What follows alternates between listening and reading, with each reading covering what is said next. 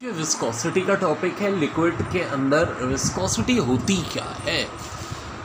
Liquid के flow में रुकावट। ये liquid one liquid two liquid three ज़्यादा कौन बह रहा है? थ्री सबसे कम बह रहा है वन तो वन की विस्कोसिटी सबसे ज़्यादा है। तो थ्री की क्या ज़्यादा होगी? फ्लूडिटी जिसका यूनिट होता है पॉइज इनवर्स और इसको ग्रीक लीटर फाइव से ज़ाहिर करते हैं। विस्कोसिटी का कॉमन यूनिट पॉइज होता है और इसको ग्रीक लीटर हीटर से ज़ाहिर करते हैं। एक पॉइज बराबर होता है वन डाइन सेकेंड पर सेंटीमीटर स्क्वायर वन पॉइज बराबर होता है पॉइंट वन के जी पर मीटर पर सेकेंड। ये यूनिट होता है सी जी एस में। अब न्यूटन सेकेंड पर मीटर स्क्वायर इसका ऐसा यूनिट होता है। ठीक है जनाब? ये तो हो गई विस्कोसिटी की बात। इसके बाद हम करते हैं इसके फैक्टर्स की बात।